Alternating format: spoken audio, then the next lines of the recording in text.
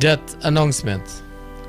The death is announced of Bibi Jaitoon Khan, known as Patricia, aged 58 years, of Lot 90 Sheet Anchor East Canje, who died on Friday, September 21 at her residence.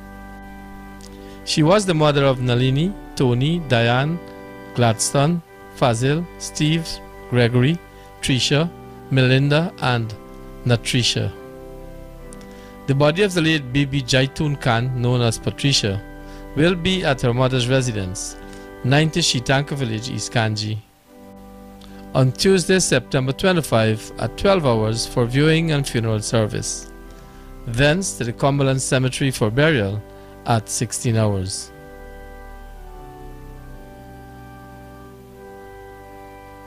DTV extends sympathy to the relatives and friends of the deceased.